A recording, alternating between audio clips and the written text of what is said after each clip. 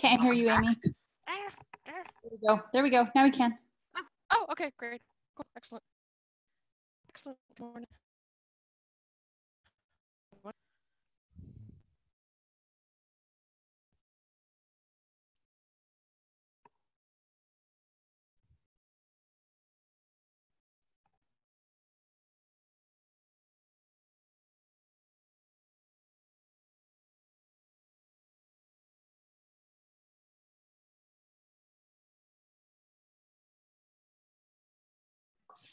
Hey, Amy.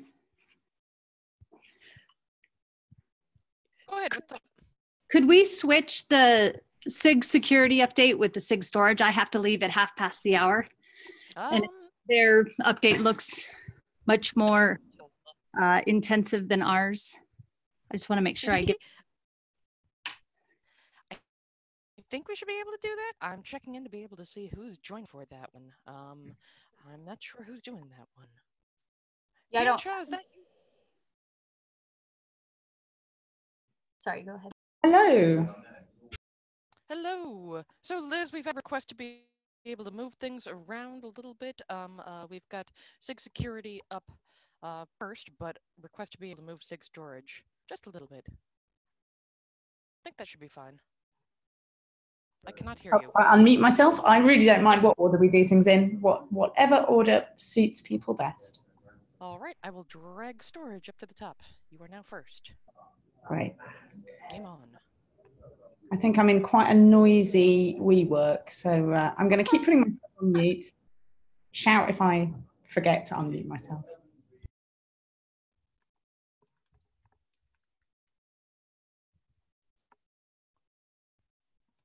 All right, and the agenda has been updated as well so that everyone remembers what happened here.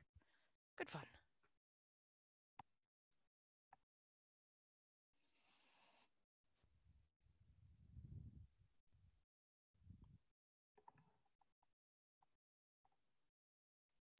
There was also the question of um, Cortex, whether or not we want to wait for SIG observability or so maybe we can put that on at the end to the agenda. Sure thing. And I'm hearing that my audio is fairly quiet, so I'm going to poke it like some settings over in here. But Liz, whenever you want to be able to. Amy, I'm going to guess people have not often accused you of being quiet. I know, right? It's weird. I suspect this is Zoom being helpful. Mhm.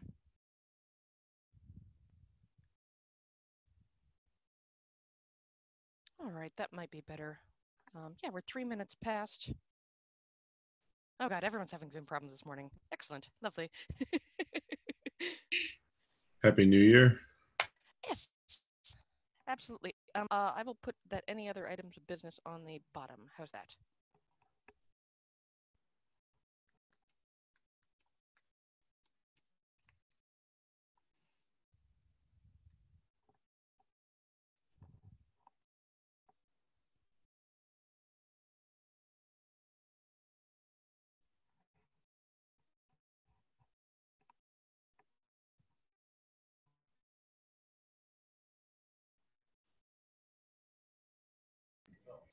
How are we doing for TSC members? I see Sheng.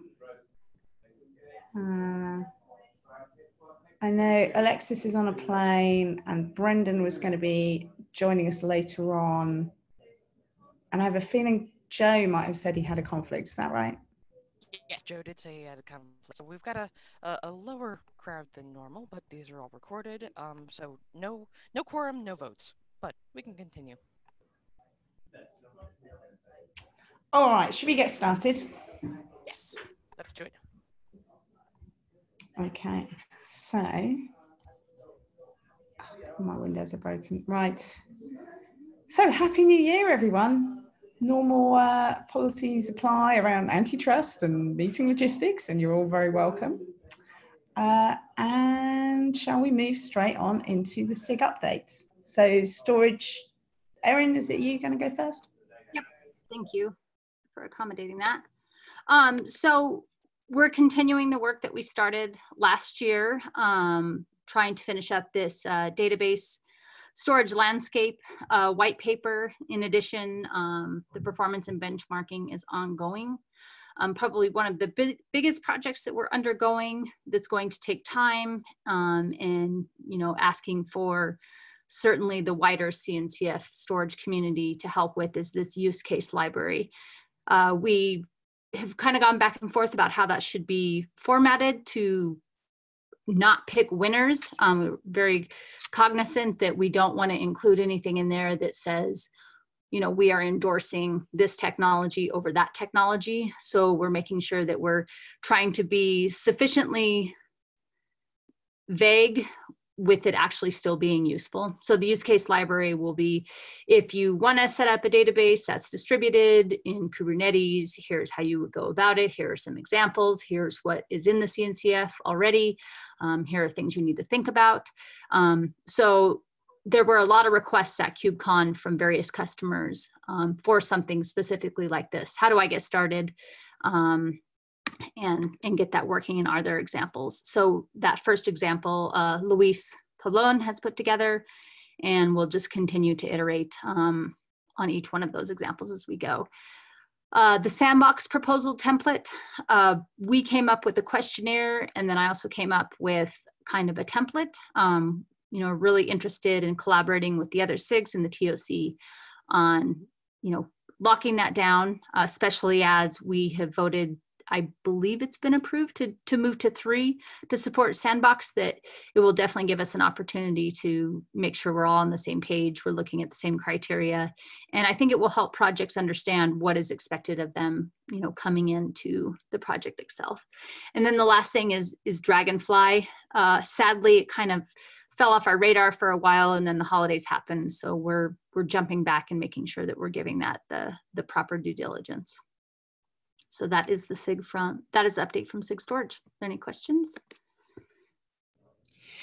Um, one question, and I this might really be a question for Quinton, but I, I, and it might also be my failing memory. I have a feeling that he's got Dragonfly as in scope for SIG runtime.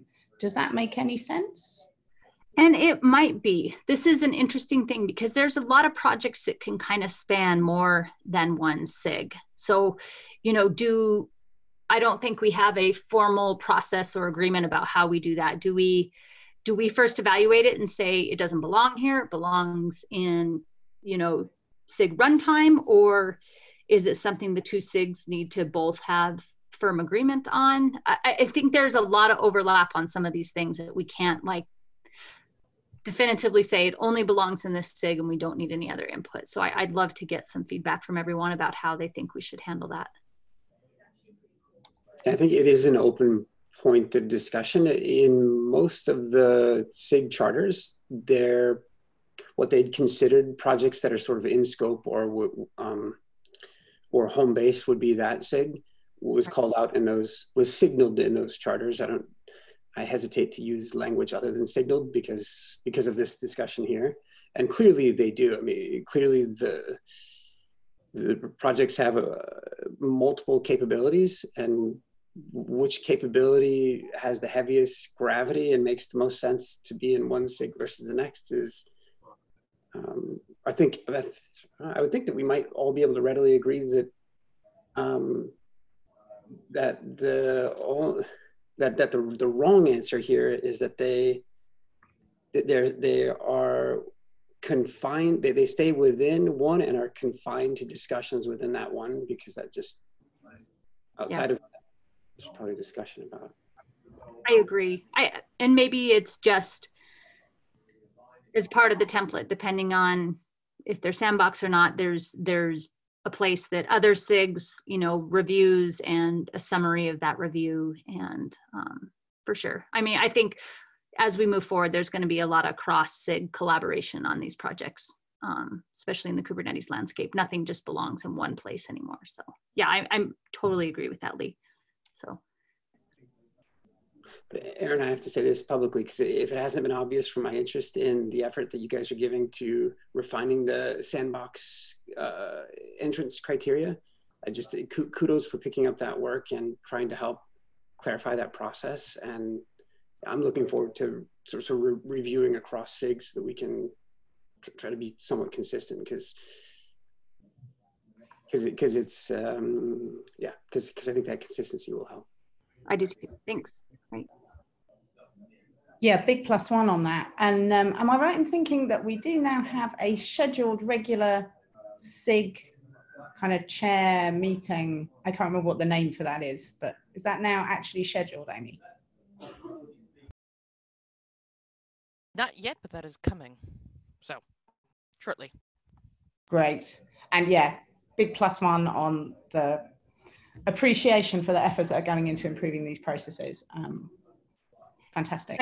I'm reading Matt's chat real quick. Um, I would suggest projects don't need more meetings, but dealing with multiple SIGs. I, I do agree with that, Matt. I don't feel like every project should bounce through every SIG and have to go through all the things together. So I think that's really up to us to, to get our crap together and not make projects go through several of the same processes. So let's let's work on how we can reduce the amount of paperwork um, for the projects for sure. So thank you maybe we can try to sort of find one home, like a sort of home SIG for each project, but that SIG might say, actually, it makes sense in this particular occasion. Clearly, there's a ton of overlap with this other SIG, so we'd like their input. Right. Well, it might be even planning ahead and inviting that other SIG ahead of time, you know, and so they do one presentation and everyone that needs to be there from the various SIGs is there and you know they don't have to bounce from one to the next. I'm, I'm open to suggestions so. Great. All right well with that in mind dragonfly perhaps should be a kind of collaboration between storage and the new runtime. Yeah so it'll right. be the guinea pig sadly. So hopefully we don't screw it up too bad. Okay. great. All right so who's next? Which sig is next? Security i believe Dan, hi. Over to you. Hi, good morning. Is uh, so Sarah Allen was uh, scheduled to present. Uh, I am stepping in because uh, we're going uh, early, and uh, I'll go ahead and uh, run through our update. Um, so high level, um, we got a few more members. Uh, it was 53 last time we, we checked in, so uh, you know, just just a you know, small bump there. Um, as we head into 2020, we're going to um, be returning to a alternating week um, presentation and working meeting schedule. We have quite a few uh, you know, subgroups and projects that we're, we're working through. Uh, so we dedicate some of the sort of allocated SIG time to getting some of that, that stuff done. Um, we've been doing some, some really interesting work around uh, supply chain security and uh, you know, have quite an extensive catalog of um, supply chain attacks that we've um, you know been, been curating. Uh, along with that, uh, you know, this effort uh, and, and um, PR 304 uh, land some of the definitions. So if you're interested in the space of the supply chain security, uh, we've begun to put down the, the, definitions and categorize some of the uh, areas and align with um, you know the work that, that's been done before MITRE and stuff like that. Uh, and finally, and this will, will carry us through the next couple uh, update slides, uh, um, you know, we have some updates to the security process. We've aligned with um, Liz and Joe, and, and um, if we can go into the intake process. Um, so, you know, here, uh, you know, we have defined and uh, ratified the security assessment intake process. Um, if you know you're looking at the schedule, um, you know the, the prioritization. Uh, number three is actually where you know things start today. Um, you know, in, in the bootstrap process, uh, we kind of jump to uh, the CNCF projects, and then um, you know, uh, one and two are you know really you know what, what, we expect as we get to steady state, where um, you know we have uh, you know, an existing corpus of, of things we need to, to go. Uh, security is never done, and we have to go back and make sure that we're, uh, you know, getting everybody up to date, and we have that that ongoing context. Um, so that's our, our uh, aligned intake process. And then uh, if you go to our, our third slide, um, you know, you can go and uh, uh, look at our, our, our project board uh, that we maintain. And, um, you know, we, we have uh, uh, Spire coming up uh, in February. So we're really excited to, um, to uh, you know, take in Inspire and, um, you know, we'll, we'll have a share out in um, coming months on, uh, on that uh, assessment.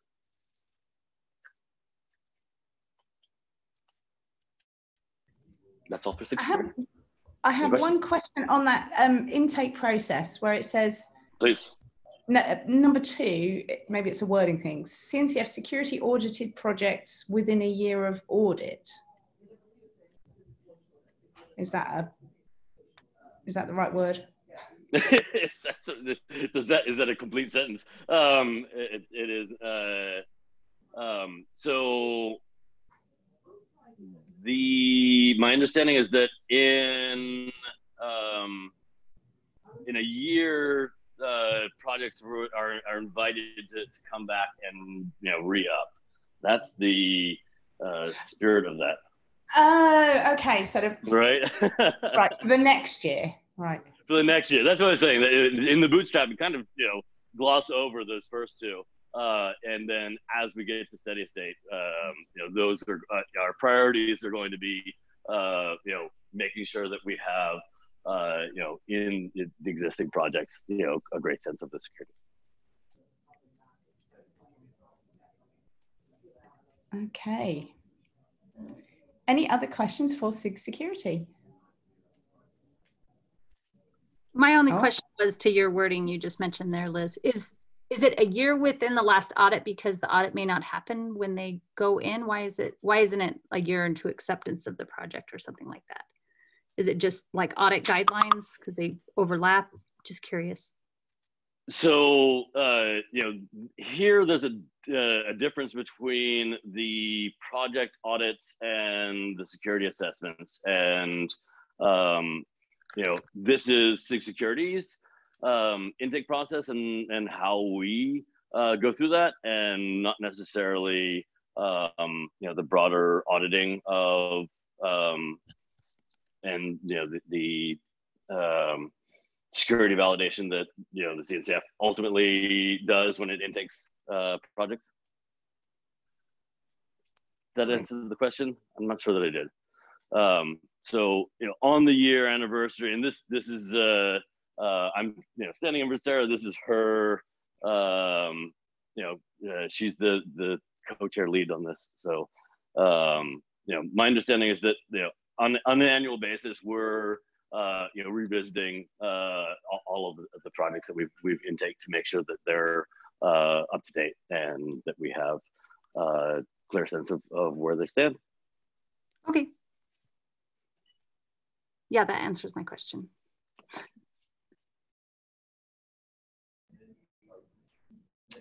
Great. Okay. Thank you, Dan. I think we turn to SIG App delivery next. Who do we have? Yeah. I'm- Hi. Okay, from the app SIG app delivery, um, you can find the details and some links in uh, the slides later on. We also started to have now our template available for projects uh, to review. So we took existing due diligence reports and um, used this as a basis. The only thing we really added is future plans for the projects that was missing in some of the due diligence documents we saw. So what do projects want to do uh, work on going forward? Active reviews right now are on Argo and the operator framework. Argo is already in a good shape uh, to the document, and we'll have a follow-up detailed discussion with the Argo team. So I think we can, uh, by the next meeting, provide some good progress there, and also assume that we make good progress on the operator framework project review. So the whole idea is that most of it is self um, explanatory so that the projects can fill it out because obviously we can, uh, as the chairs, can do all the review work. Um, the next topic was the operator framework, um, the operator definition.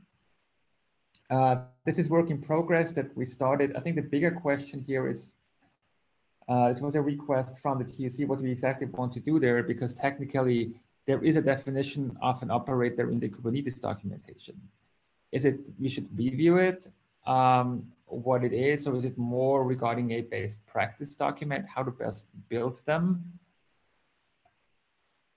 I think that's just just an open question. But what do we really want to go there? So I would just want to avoid to use uh, people's time to just go in circles on this. Like this, we discussed it about, I think it was more than a month ago. We started to work on that doc, and the more we were like getting documents together, we are like, oh, I think the thing already exists to some extent, at least the definition work. Uh, what is a bit of discussion right now is uh, what the, CoreOS folks initially had uh, the whole maturity model, capability model, these kind of things, how things should be structured, which might go more in the direction of uh, maybe a best practice, how you should implement your operator. I think the document that's now also in the references is one that was written by Google uh, for KubeBuilder, how to best structure it. So this more or less goes back to the TOC, what the exact expectations around this really are. You don't obviously need to answer right now, but um, that would be a good follow-up here. So I guess, um, can I just uh, kind of make sure I 100% understand? Are you saying that that Kubernetes operator description, SIGApp delivery believe that is as good a definition as we need, and that's what we should say an operator is? Uh, uh, I think it was more, okay, why, why do we want to have it changed? I think it's a good definition, but it technically does. Okay.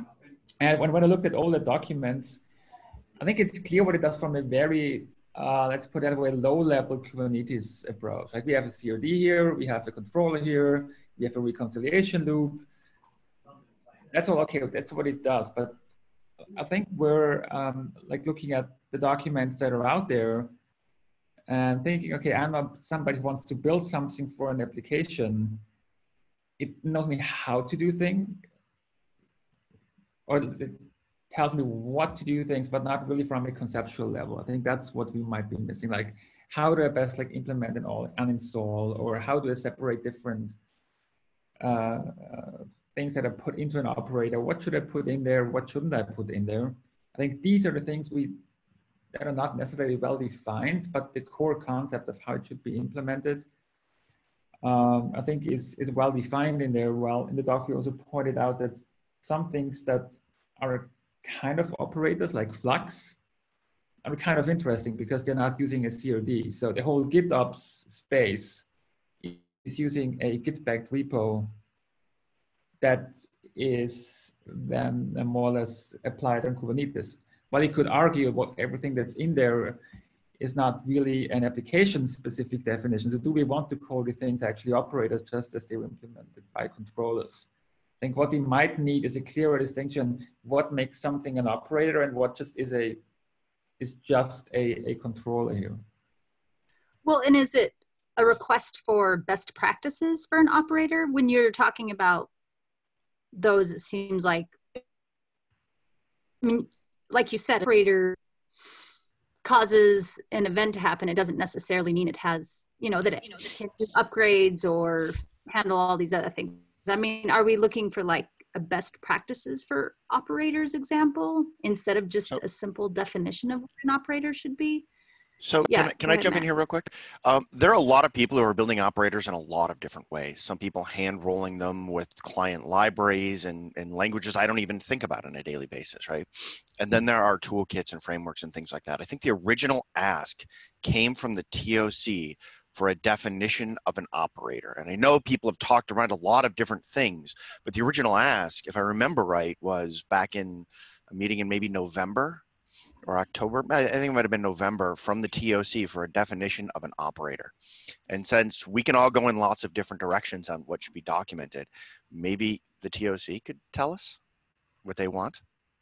And I think it was TOC members who may not be present who asked, which of course totally complicates this just what I was going to say. I think that the, the people who have the most knowledge of this area are not here.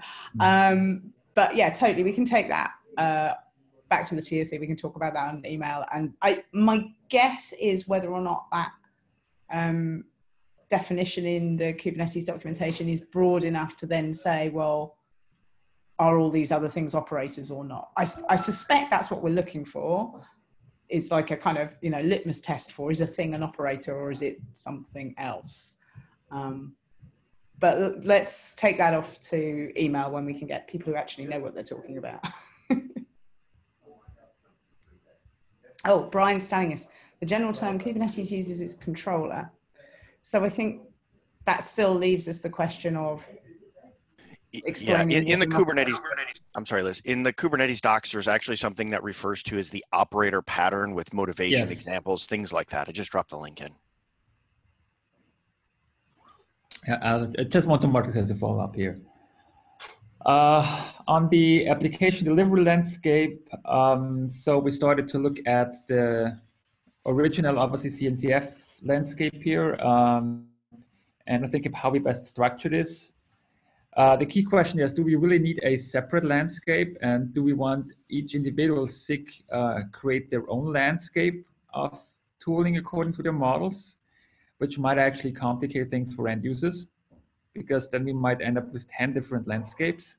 Or do we want to reuse the existing ones? So one question was maybe using some specific tags um, on it or maybe even adjust the current categories um, that are in there in the selection. So Alois, um, i put uh, just a quick comment on that, that I, th- I think the sub landscapes are perhaps the most helpful when, when they by and large contain projects that are not already contained in the general landscape because they're a, they're a niche focus and a sub a specific um, area. The, the serverless landscape is, in my mind, is an example of that, of containing a lot of projects that you that aren't represented today. And so, and so therein, there's some inherent value in understanding that niche space. Matt, Well, I was going to say, I would ask, what's the goal from this? Because what we really don't want is people who are trying to figure out cloud native and understand the projects to see something that reflects our organizational structure, right? We would probably like something that reflects what are they trying to do and help them solve it. So if we're going to do sub landscapes, it should probably be who needs help and what kind of help and what are they looking for? And then how do we help them surface that information more quickly rather than reflect whatever organizational structure we come up with and change over time. that's a great point. I'm trying to remember the name of that, the, the law that says you always end up reflecting your own organizational structure. Conway's Um, law. Yeah. Um, that is a really great point. I think the key reason for why we want to have, I'm going to say, thinking about the landscape is to identify the gaps in it. So um, maybe I, I think we could probably talk all day and all night about whether the boxes on that landscape are the right boxes. Um, but I think that the ask here is for um, the SIGs to help us figure out what's missing in the sub areas that they're aware of. Um, and in particular, to try and, you know, if we know that there are things that people need, rather it, it's it all comes back to that question of trying to avoid looking at projects in the order in which they arrive and instead saying if we have a problem to solve because there is a gap in this landscape what are the best projects that we should be looking at to fill that problem or to fill that gap i don't know if that answered the question Uh, yeah, I, I just put in an example here, like for app delivery and development, which is our area right now. There are things that are in there like database and streaming and messaging as subcategories, which are not like reflected by what we're looking into right now from supporting from app delivery per se. So that's why I just think that these categories might need some adjustment and we can come up with the proposal how we want to structure it for app delivery. So that's my point. So I don't want to throw the whole landscape overboard, but if we talk about application definition, and have database as a first class citizen in there, it's fine. And also, for example, for application definition, having telepresence in there feels a bit weird to me as well. And we also found that, for example, Flux is currently missing in the landscape. Also, it is a CNCF project. So I think that some are I think related to what uh, different SIGs do, and they should look at what the categories, whether they make sense for them. or whether they don't. Like for algebra security, we don't differentiate between runtime and, and real-time security or whatever might make sense there. Um, uh, so we'll, we'll look into how we can classify the existing projects. That's ongoing work uh, that we're looking into. I'm just bringing it up maybe for the other SIG chairs here as well to look into the categories, whether maybe some uh, tweaking and tuning of the tags might make sense there. So I think it makes sense to have a database category, don't get me wrong, but it's not really application delivery uh, related here. Yeah, last but not least, air-gapped environments. This was something from KubeCon. We had a great presentation by uh, Jeremy and also some other people saying, well, we do similar things and we want to work more on this. Uh, they'll now ask by the mailing list of who actually wants to work and contribute to this because we don't want to make this a JIRC-driven, but rather a community-driven engagement. Um, support for deploying Kubernetes applications to air-gapped environments. For all of those are, of you who haven't seen that presentation, and a recording from Jeremy, it's, I think, actually a very good introduction to that topic. And yeah, that's it. That's great. I wonder whether that's also worth raising with um, Cheryl and the end user group, who I'm particularly thinking that, you know, there's all those finance end users, and I'm sure there are other groups as well who are quite likely to be operating in end user in uh, air gapped environments. So they might also have. Yeah, we uh, during KubeCon we had requ- uh, requests from the, the telco space because they are deploying Kubernetes to obviously hardware environments that are by definition air gapped. But yeah, distributing it, uh, I think, is a good idea. So is this a uh, is this a new working group or is this a, a document? I, I, guess what are we what are we setting up here? I think it's a best practice document. That's where I would start it. So for us, the point is just you're in KubeCon, we got a lot of interest and we have people working on it. Uh, we just don't simply want to inherit this as chairs. So we want to reach out to people who's willing to actively contribute to this document because otherwise we, the chairs, will be uh, doing all the work there. That's why I was saying yeah. to the mailing is, hey, are you interested in providing actual best practices, what you're doing in there, what you're missing in there, and so forth, and also driving this this this, this forward. But it might turn out maybe into a, a, a, working group as it moves forward. But first, we really want to test the waters on interest. We have done some initial work, which I found uh, actually quite interesting, um, especially on how, because one of the questions we got, it's everything we have right now is great for packaging, but how do we get the container into an offline environment? And there are actually ways how to get a container into an offline environment. But as a lot of people were asking, it might not be documented uh, that well enough so that they easily find something to do this. Great. Okay. So is that, it sounds like there's some work already ongoing. Is that something you want to maybe start around the TOC and, and maybe some other groups like Cheryl's groups and, and call for participation? Call for participation that's a good one. So uh, I don't know whether we have a formal process there, but yeah. I don't think we do have a formal process. I think we just. Yeah, I think the networking, uh, definitely the telco working group would be one that had interest, maybe financial services, and who wants to work, who has done something, and also share the initial work that is already available there. Great, Yeah. Uh, Okay, there's, yeah. And Matt's making the point of reaching out to the CNAB folks. Ah, is that one of their use cases? Hmm. Well, yeah, Jeremy was working on CNAB before he joined VMware, so that's, that's how this came along. Okay, thank you. Is that everything? That, I see there's a couple more slides. No, or is that? just the landscape examples. So that's. Ah, I see. Okay. And the, the categories one. So this is just for. Assuming we had slides, this would have just helped illustrate the use case we want to make here. That's fine.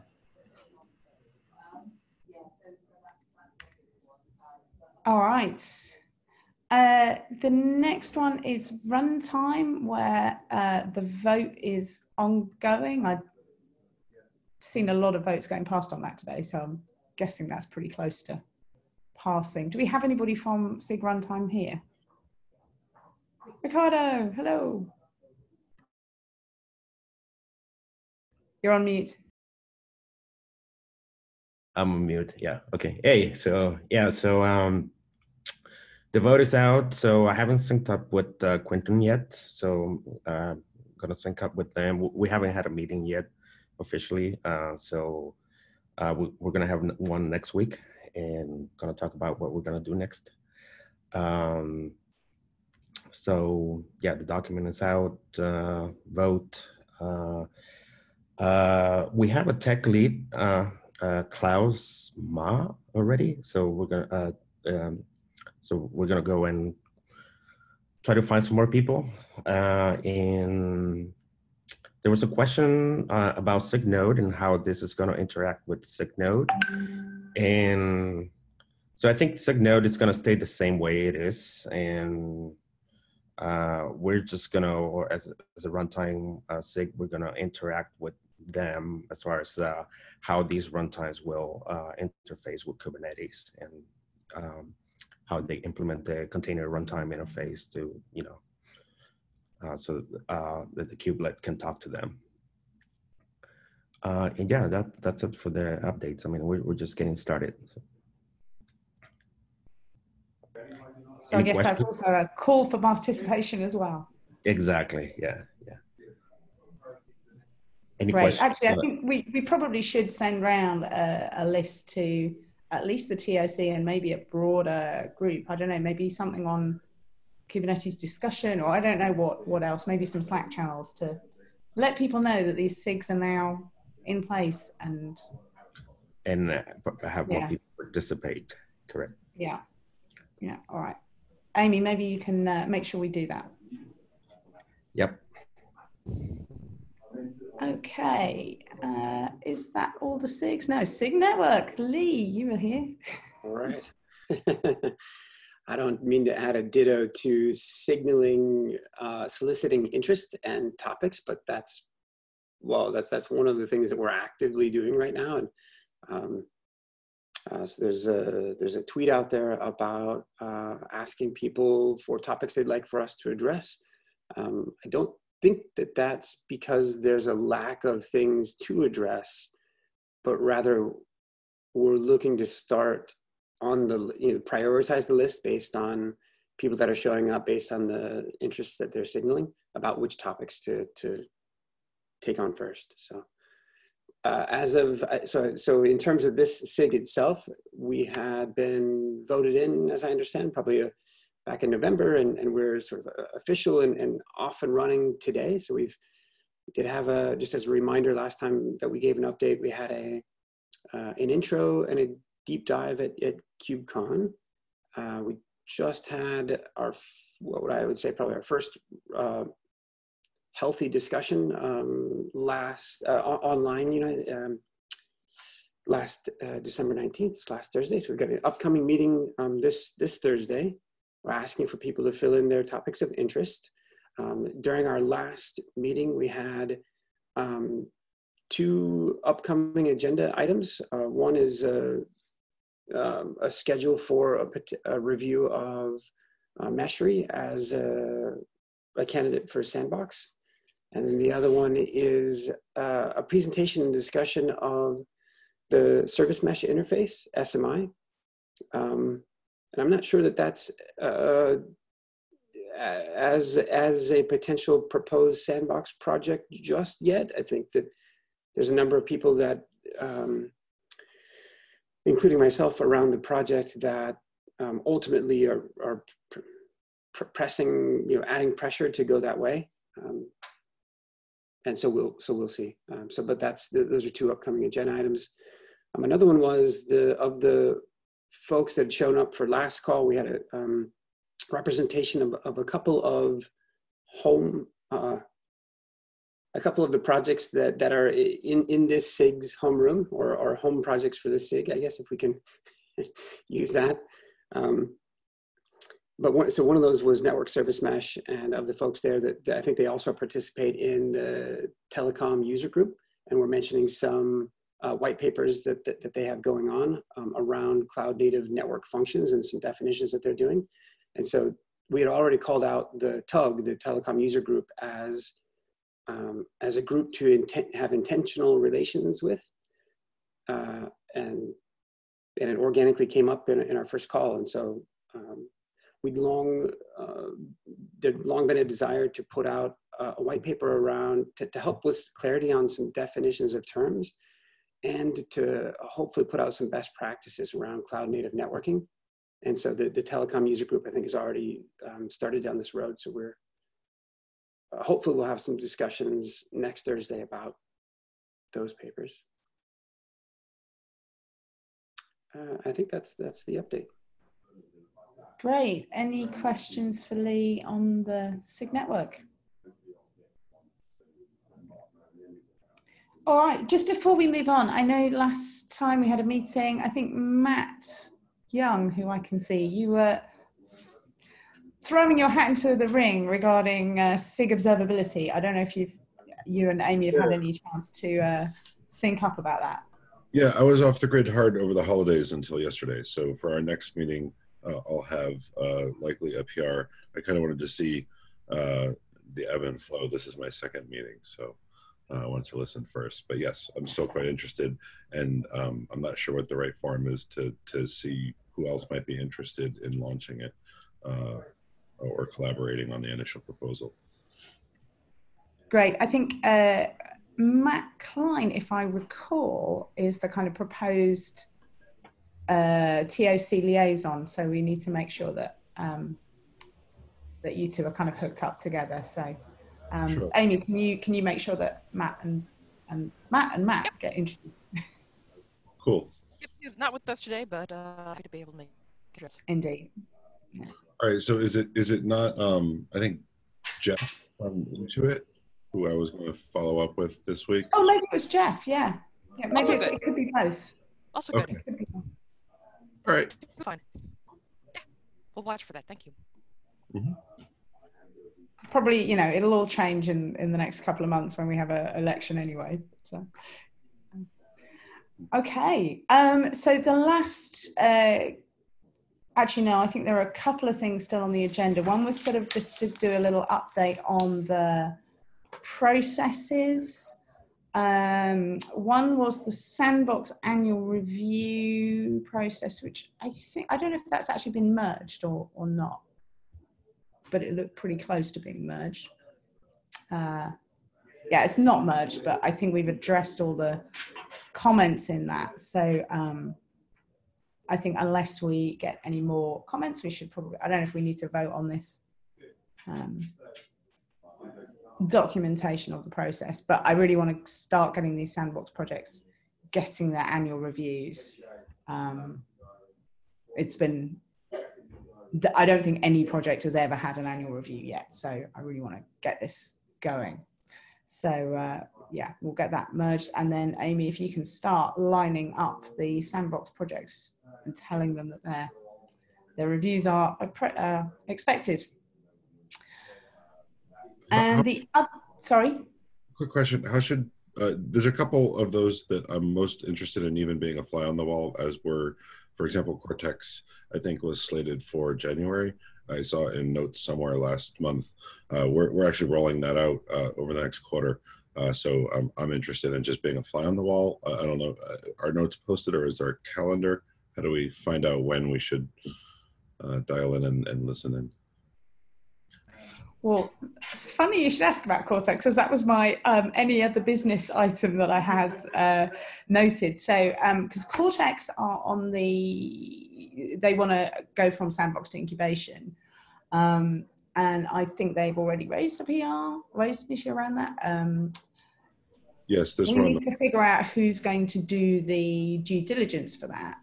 And the question is, should we have the new putative SIG observability do that, lead that due diligence?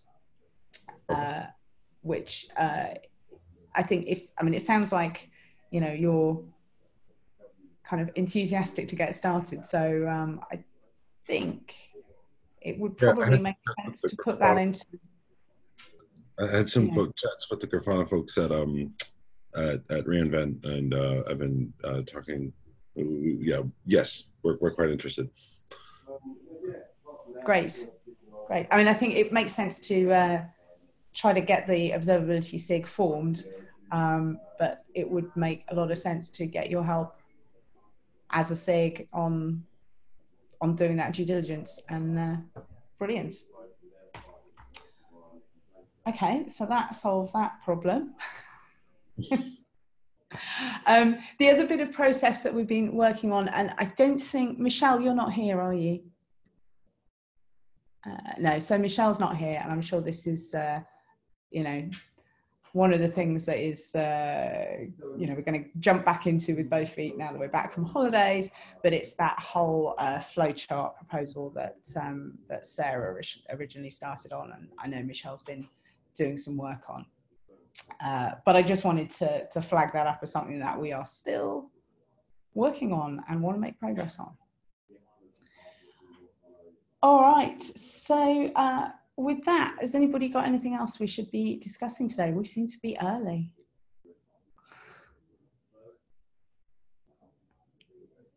I'm happy to talk about the proposal that I have in mind if you want. Ooh, Paris, yes, do go. As I saw you there, I thought I wonder, I didn't want to put you on the spot, so I'm very happy for you to volunteer. no, it's all good. Um, this is something that I talked to Liz and Michelle and a couple other folks briefly about. Uh, I've recently sent it to Amy and some other CNCF folks to look at, but I'd like to propose a, a SIG for contributor experience uh, and community relations with the stakeholders being end users and how they can best uh, interact with upstream communities in CNCF's portfolio, as well as help the portfolio projects uh, grow contributors, find better automation tools, and things like that. Uh, coming off the learnings of Kubernetes and also our failure stories. Uh, for those that don't know me, I'm the co chair of Kubernetes Contributor Experience. I've been doing this for about two years.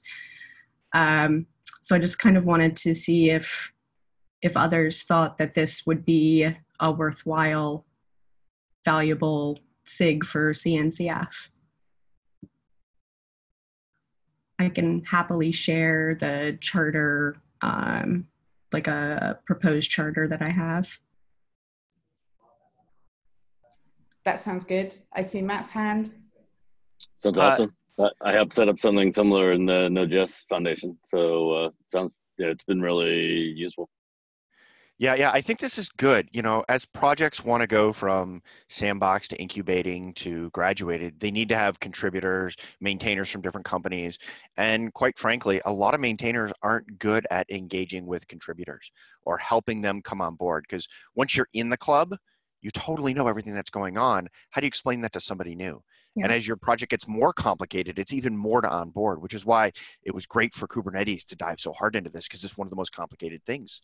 Uh, and, and I think a lot of our projects could probably use that, and not getting more people involved is a pain point, especially for some of the sandbox projects. So helping them get better at this, I think will help the quality of our projects.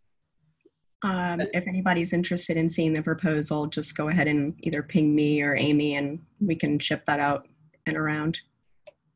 I think if you're happy to do so, maybe you just send it around to the TOC mailing list. Yeah, I think or um, drop chat here. Okay. I mean, it's it's very draft like, very you know, it has JavaScript commenting in it. um, so yeah, just heads up there. Very work in progress. But sure. Yeah, it's a universal need across all the projects.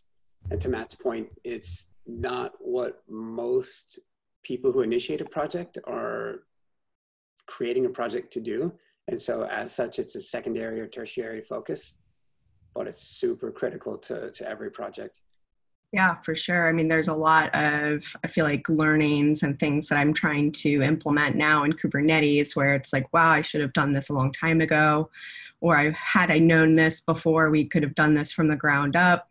Um, a lot of the processes that you try to do retroactively are very difficult when you have 35,000 contributors already. uh, so a lot of things that uh, we can share, and I would love to almost make this group uh, sort of a not not necessarily like a council in itself, but uh, you know having a rep from every project that wants to do intentional contributor experience uh, and things like that would really, I think, help the community at large uh, get some standards and things. Like even the definition of a contributor uh, is, you know, subject to many opinions. So on that particular point, that's actually a point of interest um, for me and for, for, projects that I'm involved in is, mm-hmm. um, well, is the definition of something of a contributor ladder.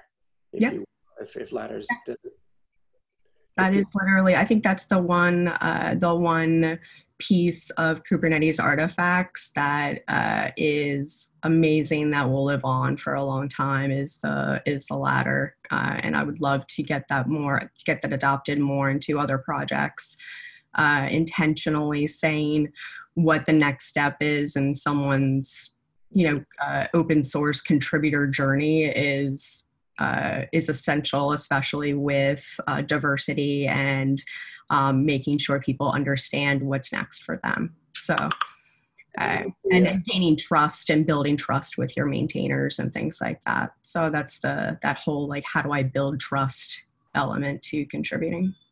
And hopefully a healthy recognition of the weight associated with non-code contributions um, as yeah. being so just for my own um, edification, there is a contributor ladder defined within the Kubernetes project today.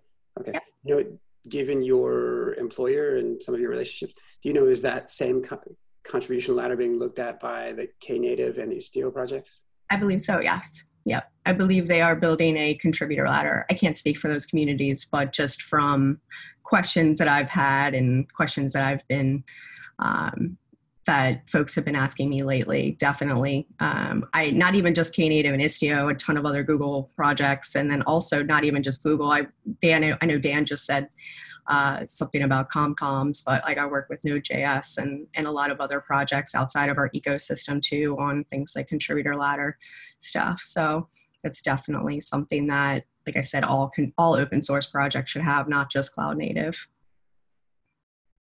I think this is absolutely wonderful, and um, you know, we we often talk about you know what can the CNCF do to help projects, and I think this is going to be a really big boost. You know, to be able to learn from some of the things that Kubernetes have done. I think this is fantastic. So much, much, much appreciated.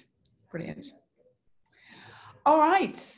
Uh, anyone else want to volunteer to change the world for the better? It's okay. We're all changing the world for the better. Brilliant. Okay, you get seven minutes back in your day. Thank you very much, everyone. Good to see everyone. Bye all. Thank you. Thank you, everyone. Bye. Bye. Bye.